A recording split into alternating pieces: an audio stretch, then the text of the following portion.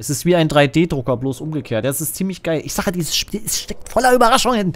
Es steckt voller Überraschungen. Es ist geil.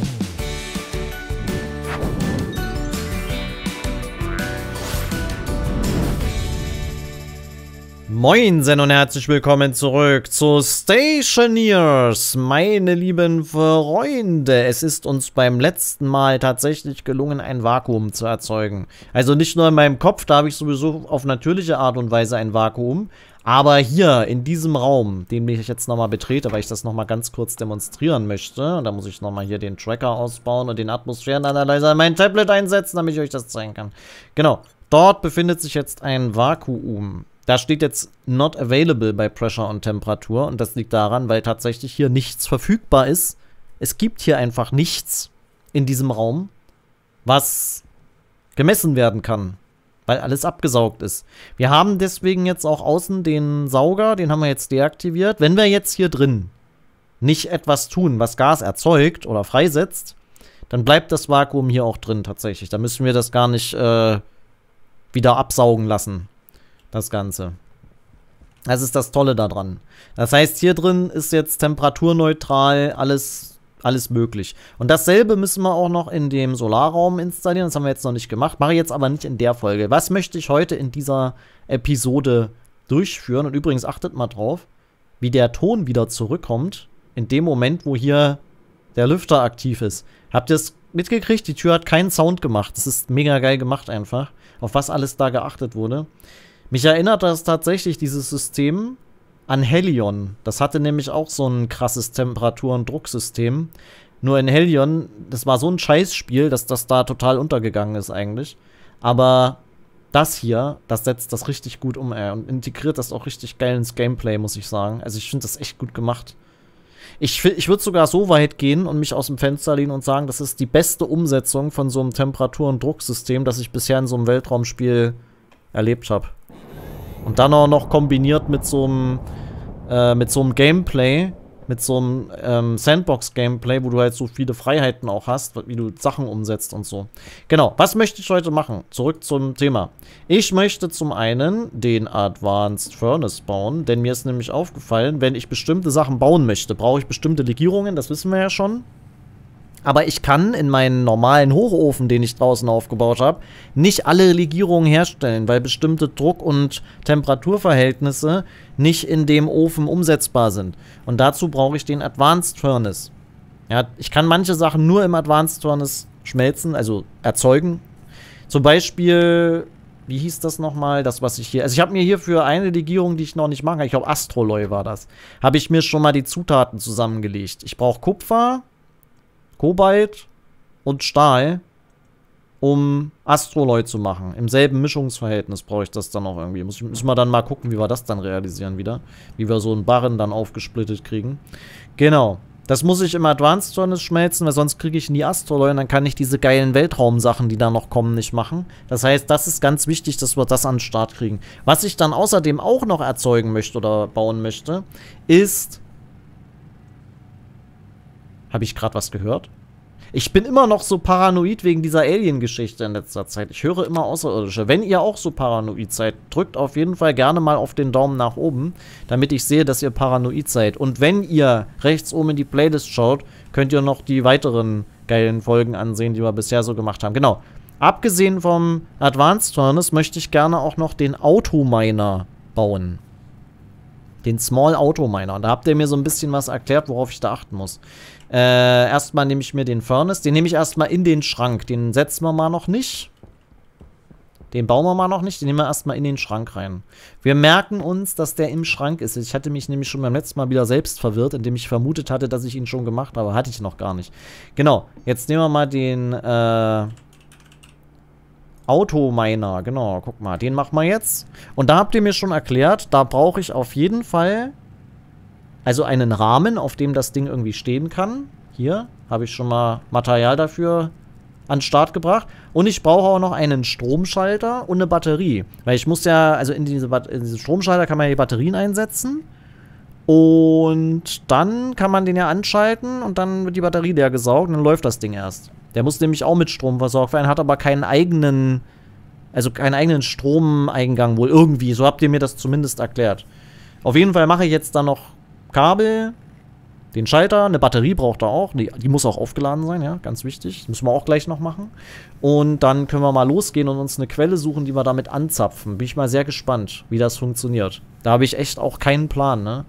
Das habe ich auch noch nie eingesetzt, das wollen wir dann mal jetzt ausprobieren. Ich sage ja, jetzt geht es langsam in die Richtung Automatisierung. Das ist ja auch der Grund, weshalb wir den Vakuumraum gebaut haben. Wir wollen Dinge automatisieren. Genau, da ist es. Ich finde das immer so lustig, wie das so, wie so ein Lego-Set zusammengebaut in so einer Packung und dann so Bauteile drin und sowas alles. Ist schon genial. Also jetzt brauchen wir noch den Schalter. Das nennt sich nämlich, nee, nicht Autolatte, das nennt sich äh, Power. Power Controller, genau. Was waren das andere da? Da war noch irgendwas, was mit... Moment. Power Connector, ah ja. Ah, stopp. Nicht so viel. Einer reicht. So, den brauchen wir und die Batterie, halt, die Batterie brauchen wir noch. Die große. Und da gehen unsere Materialien wieder hin. Zum Glück haben wir vorher noch mal gefarmt vor dieser Aufnahme. Ich sag euch, meine lieben Freunde, man braucht immer mehr, als man denkt. Wenn man denkt, man hat genug, dann hat man definitiv noch nicht genug in diesem Spiel. Man muss immer mehr machen, als man denkt. Mehr farmen, mehr produzieren, mehr herstellen. So. Nice. Ich dachte gerade, ich habe einen Bang gehört, ey, ohne Witz. Ja, manchmal hört man auch echt seltsame Geräusche in dem Spiel. Manchmal rumpelt es auch einfach so ganz komisch. Irgendwie in den, in den Wänden so. Und dann denkt man immer, da ist irgendwas. Also manchmal, ich werde hier, ich werde hier echt irre, ey. Ich schalte jetzt hier den Tracker an. Und dann gehen wir raus. Kabel, was? Ne, Kabel habe ich, äh, Kabel habe ich hier. Achso, das sind die geilen Kabel. Warte mal, da nehmen wir mal die anderen Kabel mit. Stimmt, Kabel muss, ich muss es ja auch verkabeln, genau. Hier, hier, hier, warte. Genau, wir stecken die hier mal zusammen. Und dann nehmen wir uns mal, hier den Fuffi nehmen wir uns mal mit, genau. Mach das mal zu. Habe ich jetzt alles? Ich habe den Tracker, ich noch ich, ich müsste jetzt eigentlich alles haben. Batterie ist voll aufgeladen, haben wir auch dabei. Ja, jetzt müssen wir uns eine Quelle suchen wo wir ein bisschen dann das Ding aufstellen und dann das farmen lassen. Schauen wir mal. Ich bin sehr gespannt. Sie sind also schon in den Wänden. Fehlt nur noch das Amazon-Logo auf dem Paket. wir bauen uns den, den BTC-Miner, genau. Mal so richtig äh, reich werden im Schlaf. So, was wollen wir denn automatisch zapfen? Wollen wir mal erstmal mit Eisen anfangen? Hier, guck mal, das ist direkt nebenan. Hier, guck mal, hier sind ganz viele Eisenquellen. Ist vielleicht ein bisschen uneben, aber wir probieren es mal hier. Das passt ja eigentlich. Also, wie sieht denn das aus, wenn wir das... Ah ja, den kann ich also einfach... Oh, Alter, ist das riesig. Okay. Ähm, ja gut. Ähm, wie tief muss ich denn das aufbauen? Warte mal. Once placed.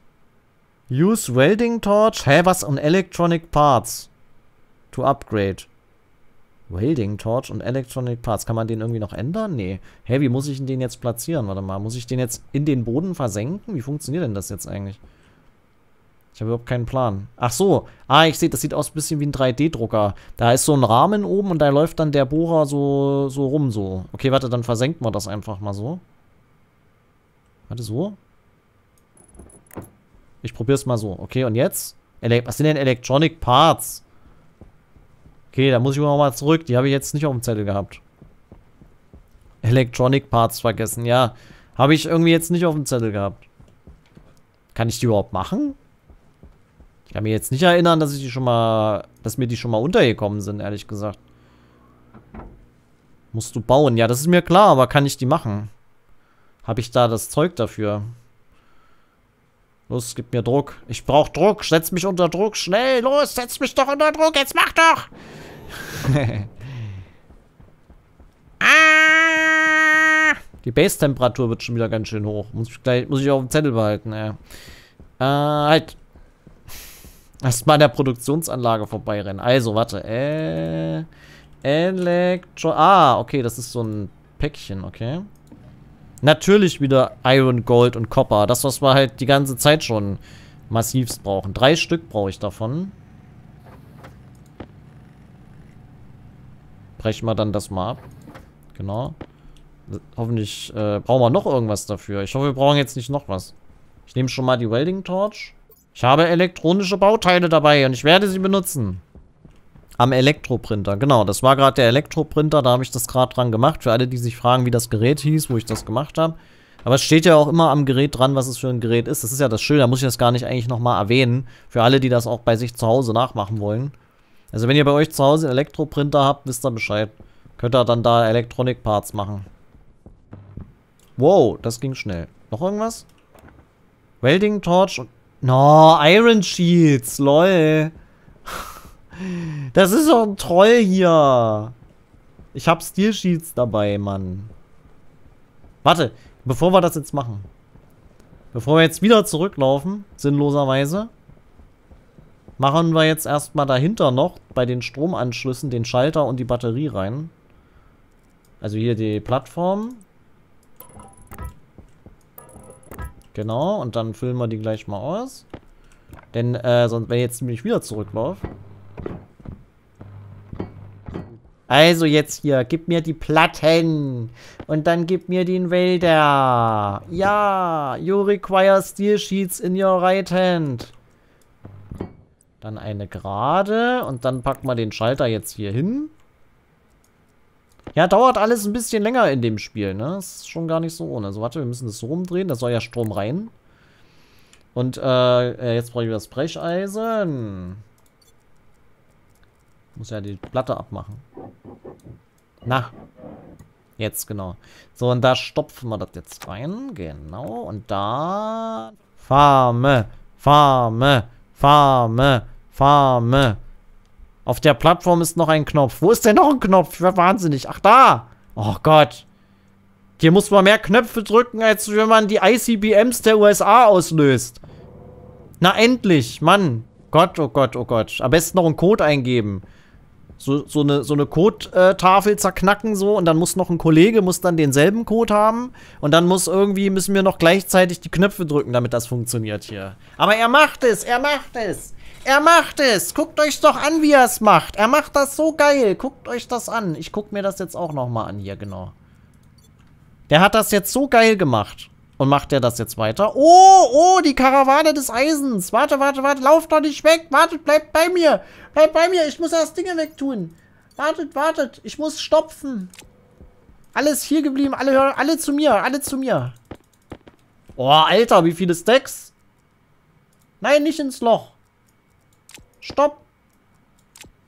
Spuckt mich an, los. Spuck's aus. Ah, guck mal, Wasser, habt ihr... Ah! ah, nein! Kann, kann der mich eigentlich beschädigen, wenn, wenn der mich anbohrt? Wie ist denn das eigentlich? Kann der mich anbohren? Aber, aber ihr habt gesagt, der hätte voll den geringen Radius. Finde ich gar nicht eigentlich. Das geht eigentlich. Nimm es. Nimm es. Es ist geil. Ah, so macht Farmen Spaß. Wenn das nur nicht so aufwendig wäre, das Ding aufzubauen. Jawohl, fräst die Scheiße aus. Ich hätte es vielleicht noch ein bisschen weiter in die Richtung bauen sollen, aber... Aber, ach, geht eigentlich. Oh Gott, wie, tief geht denn das bitte, Alter? Oh, guck mal, der holt da... Ah, das ist doch das andere Erz. Äh, hier, wie nennt man es denn? Das ist, äh, das ist das andere. Dieses andere Erz, von dem immer alle sprechen. Der hat Silber bekommen. Halt, hier geblieben. Der hat Silber gekriegt. Geil. Ich bin gerade begeistert. Challenge ist dann Gase farmen. die, die kommen dann hinten raus und werden dann direkt verflüchtigt. Guck mal, er hat sogar noch recht gut Restenergie eigentlich. Ja, das ist doch geil. Guck mal, jetzt kann ich nämlich in der Zeit, eigentlich kann ich jetzt woanders hingehen und in der Zeit was anderes machen. Aber da ich das gerade so faszinierend finde, was da passiert, bleibe ich daneben stehen und gucke zu und verschwende Zeit. Das ist doch auch was Geiles. Es ist absoluter Wahnsinn. Mach einen Zaun drumrum. Warum denn das? Ach so, damit ich nicht da reinfalle. Ja, ist eigentlich clever, ne? Was äh, Ribald schreibt. Aber, aber ich finde das faszinierend. Jetzt hat er aufgehört. Er kommt hoch, er kommt hoch. Na, was hast du für Überraschungen aus der Tiefe rausgeholt? Jetzt kommen die Aliens. Jetzt gräbt er die Aliens aus. Das wäre so lustig. Noch mehr Silber, okay. Ah, warte, halt, halt, halt. Das wertvolle Zeug will ich einstecken. Boah, wie viel Zeug. Halt! Stehen bleiben. Okay, warte, ich mach den jetzt mal aus. Ich leg den Hauptschalter einfach um, oder? Das müsste doch gehen, oder? Weil vielleicht noch eine, einen Schwung noch. Ich lasse mich noch einmal Bär liefern. Guck mal, es ist schade, dass er da nicht rankommt jetzt, ne? Aber ich finde das System ganz cool. Mit diesem, äh, mit dieser Schiene da. Wie, der, wie der so an der Schiene halt so lang läuft. Wir haben einen automatischen Farmer. Endlich wird für mich gefarmt. Endlich muss ich das nicht mehr selber machen. Es ist wie ein 3D-Drucker, bloß umgekehrt. Das ist ziemlich geil. Ich sage, dieses Spiel es steckt voller Überraschungen. Es steckt voller Überraschungen. Es ist geil. So, ich mache jetzt das aus. Äh, einmal, einmal noch spucken. Komm, spuck. Kann ich ihm befehlen zu spucken? Boah, Alter. Wie, wie von wegen, der hat nur so der hat nur eine kleine Reichweite, Alter. Guck dir mal an. So tief habe ich noch nie gegraben. So weit habe ich mich noch nie runtergebuddelt. Der macht ja immer weiter, wie es aussieht. Oh, der hat da wieder was gefunden, glaube ich. Da unten. Die Batterie kann ihn für insgesamt 15 Minuten und 59 Sekunden laufen lassen. Echt? Das ist ja geil. Das ist ja episch. Weil der braucht natürlich auch immer länger, bis er dann wieder unten angekommen ist, je tiefer er gräbt, ne? Aber so ist das viel angenehmer, darf ich das mal sagen? Wenn man jetzt natürlich das mit dem Ohrscanner ein bisschen versucht zu kombinieren und dann quasi den einfach da aufstellt, wo die meisten Flecken auf dem Ohrscanner zu sehen sind, also auf dem Erzanalysator, dann kann man ja richtig was rausholen wahrscheinlich, ne? Ich meine, ich habe den jetzt einfach mal auf gut Glück dahingestellt. Weil ich halt oben Eisen gesehen habe, habe ich mir gedacht, ja, kann man doch mal machen. habe ich offensichtlich gar nicht so falsch gelegen, weil es sieht ganz ordentlich aus, was da unten ist. Kam ja auch schon ordentlich was raus. Aber er gräbt immer weiter, ey. Kann man dem irgendwie eine Grenze festlegen, wie weit er äh, gräbt? Weil der macht jetzt ja immer weiter, ne, an sich. Bis er halt wieder voll ist, dann holt er wieder raus und dann... Spring doch mal ins Loch. Das Problem ist, ich habe nur noch 896 Kilopascal Treibstoff im Jetpack. Ich muss erstmal mein Jetpack mal wieder auffüllen. Ich habe keine Lust jetzt da so tief in so einen Schacht zu... Alter, man sieht den Boden schon nicht mehr. Ich habe keine Lust in so einen Schacht jetzt reinzufallen und äh, dann wieder rausfliegen zu müssen. Bau ihn auf einen Berg. Ja, das ist eigentlich gar nicht so doof. Auf dem Berg da... Ja! Da können wir den Berg abtragen damit. Ah, so können wir den Berg loswerden. Der Berg steht eh im Weg, finde ich. Wenn wir einfach den Autominer aufbauen und dann immer versetzen. Geile Idee. Am Marskern ist Schluss. Ich glaube, es gibt, ein, es gibt wie in Minecraft ein Bedrock und dann, da geht es dann nicht weiter. Ich glaube, der gräbt sich bis auf, ich glaube, der gräbt sich bis aufs Bedrock tatsächlich. Und dann hört er auf. Kann er jetzt mal wieder was ausspucken? Warte, ich will den jetzt mal, kann ich den mit dem Knopf, kann ich den hochholen, oder? Ich will mal wissen, was er jetzt Intus hat. Naja. Das war jetzt keine besonders große Ausbeute, aber egal. Bleibst du hier? Stopp. Alles zu mir.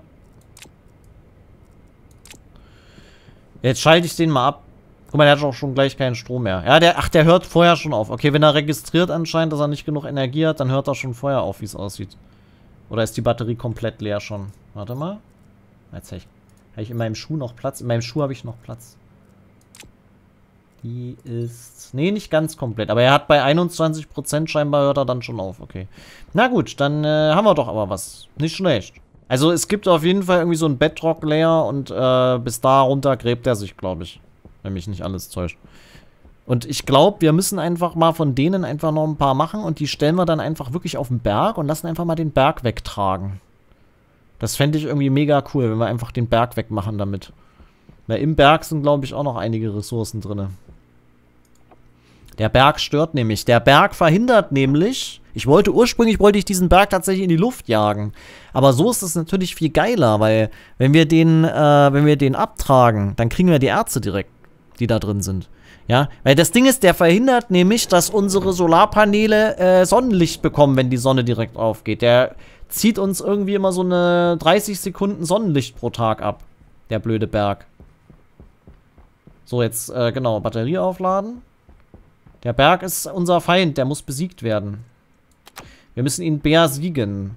So, jetzt haben wir das ja. Jetzt wollen wir ja den Advanced Furnace noch bauen. So, jetzt habt ihr mir gesagt, ich soll den Advanced Furnace tatsächlich in den Vakuumraum bauen. Weil der Advanced Furnace nicht leckt.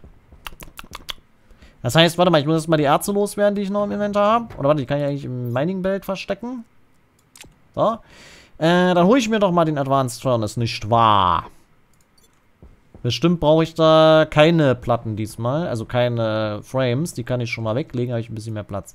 Dann brauche ich aber bestimmt die geilen Kabel und nicht die, die Noob-Kabel hier. Reichen 27? Na, mal gucken. Also, ba, ba, ba. Genau, da ist er ja. Da, da, da. Was brauche ich denn? Elektro... Ah, haha. Diesmal, meine lieben Freunde. Diesmal lasse ich mich hier nicht vernichten. Wie viel brauche ich denn? Hm. Ich mache mal ein paar mehr. Wir brauchen die wahrscheinlich noch für andere Gerätschaften. Und wenn wir sie nicht brauchen, können wir sie ja beim Händler dann verkaufen auch. So an sich. Machen wir mal ein paar mehr Amazon-Päckchen, würde ich sagen. Der Berg muss besiegt werden vom Berserker. Genau so sieht's aus. Ich mache gleich mal ein paar mehr Päckchen. So reicht. Also ich habe jetzt Stahlplatten, Eisenplatten dabei. Das muss doch alles reichen. Komm, jetzt muss doch jeden hier jetzt. Halt, ich muss da rein. Ja, ja, der muss auch auf Frames, aber der, der... Hier sind ja Frames in dem Raum, wo wir den jetzt aufbauen wollen. Deswegen brauche ich die jetzt nicht mitnehmen, das meine ich halt. Bau dir mal Floor Gratings. Wäre keine schlechte Idee, weil dann könnte man nämlich sowas wie Kabelschächte, so wie bei Alien in so einen unterirdischen Schacht, der unter den, unter den Laufwegen durchgeht, dann tatsächlich verstauen. Man kann sich wirklich so eine Alien-mäßige Kolonie zusammenbauen, so eine Headley's Hope-mäßige. Man hat die Teile dafür, das ist kein Scheiß. Also wer Alien-Fan ist, sollte dem Spiel tatsächlich mal eine Chance geben. Wenn er halt auch so kompliziertere Gameplay-Mechaniken gut findet.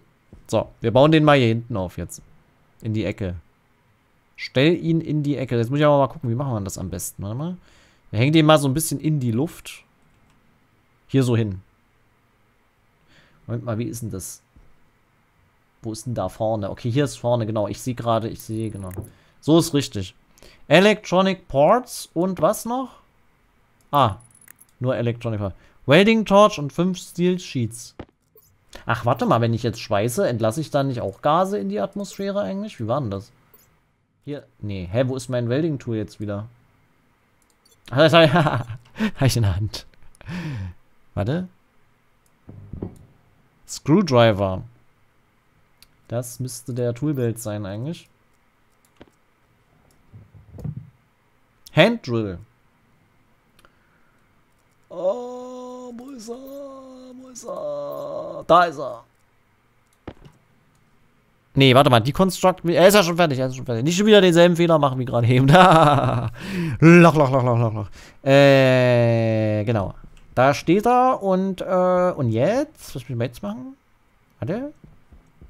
Müssen wir jetzt nicht noch verbinden mit äh, Auslass und so? Output, guck mal. Output muss, glaube ich, am Start sein, sonst haben wir ein Problem.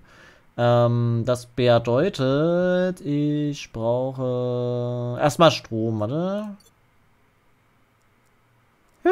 Da. Hm. So, äh, ich, ich schließe auch die Intelligenz an. Damit die Intelligenz auch am Start ist. Und ich nehme die fetten Kabel dafür jetzt. Genau, hatte ich hier nicht eine T-Kreuzung auch gebaut? Oder, warte mal. Ich würde da gerne hier, warte. Die würde ich gerne benutzen, genau, sodass das in den Raum auch reingeht, noch das Kabel. Müssen wir nur gucken, dass wir das richtig drehen hier. Ja, so genau. Dann kann ich das nämlich da gleich abnehmen. Warte, warte, warte, so. So. Komm, gib's mir hier. Äh. Moment, so, genau, ja, und jetzt so. Du musst das Gas selbst einfüllen, das heißt, du brauchst volatile Gase. Ja, aber kann ich nicht jetzt einfach... Das kann ich doch wieder da reinstecken, oder nicht? Hier ist doch eh keine Temperatur, dann schmilzt doch das auch nicht, oder? Nee, warte mal. Wie ist denn das eigentlich, wenn ich im Vakuum Eis hinwerfe? Was passiert denn da eigentlich? Schmilzt das dann oder bleibt das Eis? Jetzt bleibt Eis. Eigentlich. Weil, ähm, ein Meteor wird, er schmilzt ja auch nicht. Es sei denn, die Sonne strahlt drauf. Es passiert gar nichts, okay. Ja, dann kann ich das da einfach selber reinstecken. Aber ich muss äh, wieder ein Abluftventil haben, glaube ich. So, jetzt müssen wir mal gucken. Da brauche ich erstmal wieder Rohre und ein Passivvent. Und ein Ventil. Ein Ventil brauche ich auch. Auf dem Mond schmilzt es bei mir. Ja, wahrscheinlich, weil du das in der Sonne machst dann. Guck mal, es gibt ja äh, Kometen. So, die bestehen ja meistens auch aus Eis. Also, ist nicht unüblich, dass ein Komet aus Eis besteht auch. So, und äh, der wird ja auch nicht permanent weggeschmolzen, sonst, werden sie ja, sonst würden sie ja nicht lange existieren. Die werden ja auch erst dann kriegen die ja ihren Schweif und erst dann schmilzt ja das Eis vom Kometen, wenn sie der Sonneneinstrahlung nahe kommen. Und wenn die Sonne halt das Eis taut. So würde ich jetzt sagen, ist die Logik.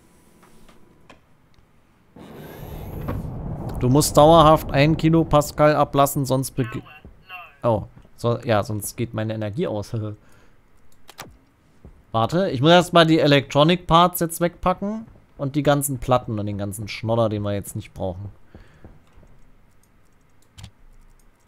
So, jetzt müssen wir mal gucken. Wir brauchen die Gasdinger. Ein Ventil brauche ich auch noch. Und ein Passivvent noch. Haben wir überhaupt noch Vents? Sieht schlecht aus. Ein Active Vent. Ne, den wollen wir nicht haben. Wir wollen einen Passivvent haben. Mach mal einen Passivvent, genau. Ein Ventil brauchst du nicht. Ach, echt nicht? Der hat eine eigene Volume-Pump. Oh, okay, dann äh, lass mal das mal weg. Guter Hinweis, hätte ich jetzt nicht erwartet. Mache ich das jetzt von innen oder von... Ja, ich probiere es mal von innen erstmal. Wenn ich es von innen nicht schaffe, mache ich es von außen. Ja, deswegen Advanced Furnace, weil der eine eigene Druckregulierung hat wahrscheinlich, ja? Aber kann ich die an dem Gerät auch steuern? Ich sehe hier... Achso, ja, stimmt. Hier sind ja Valves, genau. Hm, na, mal gucken. Ich bin gespannt. Ich habe keine Ahnung, ja. Ich, das ist auch neu für mich wieder. So, Moment. Dann, äh... Machen wir das mal so, dass wir da eine Kurve machen. Wenn ich das nach unten drehe, müssten wir die auch... Warte, so. Wenn ich die nach unten drehe, machen wir den äh, Auslüftungsdings einfach nach unten. Nehmen Sie es nach unten. Genau, jetzt muss ich jetzt von außen machen. Müssen wir rausgehen. Ich gehe jetzt nicht durch den Ausgang, der nach draußen geht, weil sonst haben wir ja kein Vakuum mehr drin. Da muss ich ja wieder den Lüfter aktivieren. Ich versuche mal das Vakuum jetzt zu halten. Ich habe es mit einem Elektrolyser-Gerät gemacht, so hast du die volle Kontrolle. Ein Elektrolyser-Gerät, was? No Ventil vor Ofen. Temperatur, ja, ich muss mal wieder äh, die Base kühlen. Brich mal das ab, bitte.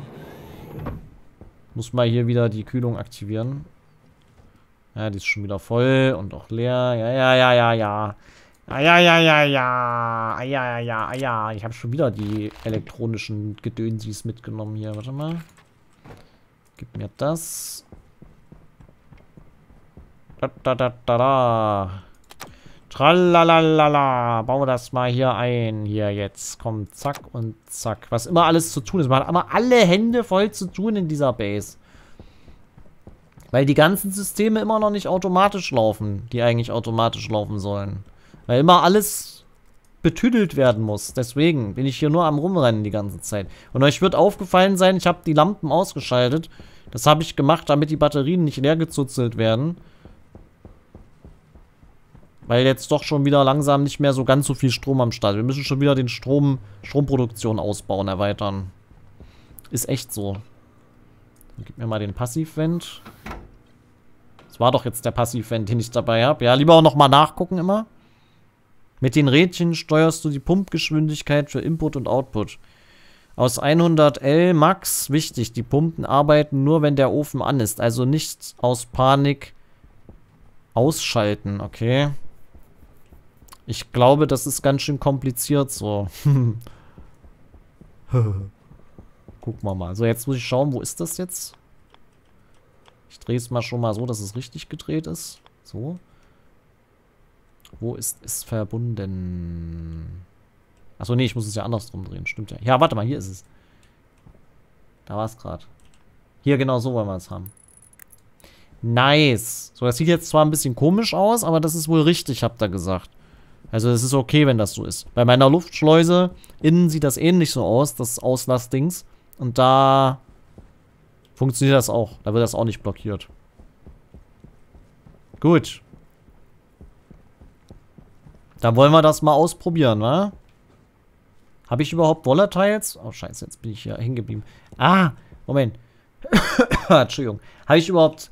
Habe ich Volatiles eigentlich? Ja, habe ich gar nicht. Moment, muss ich noch holen schnell. Muss schnell Gas holen. Nicht genügend Gas. Das war hier hinten irgendwo. Wie geht es eigentlich meinem Windpark? Sieht noch gut aus. So muss das sein. Der ist immer noch am Abpusten.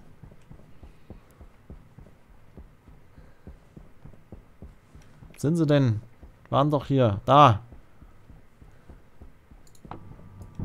Mal schnell Volatiles holen. So. Mehr? Wie viel haben wir denn schon? 42. Ja, reicht. Sollte eigentlich reichen. Das habe ich natürlich wieder nicht gesehen. Klar. Schnell Popcorn holen und Feuerwerk genießen. Ey. Ey. Ich will nicht, dass es in die Luft geht. Es darf nicht platzen. Ich speichere vorher auch nochmal. Hab da ja gesagt vorher, also ist ja hier schon in Fleisch und Blut übergegangen, dass wir immer speichern, bevor wir irgendwelche lustigen Sachen hier machen. Tu es. So, wir sind im Vakuumraum, aber warum höre ich meine Schritte hier? Das ist wahrscheinlich der Trittschall vom Anzug. 0, Kilo, 0 Pascal, genau. So, jetzt will ich aber kurz speichern. Wichtig. Empfehle ich jedem. So. Nice. Und nu? Stopfen wir, stopfen wir es rein, meine lieben Freunde. Warte. Erstmal wieder den Sauerstoff.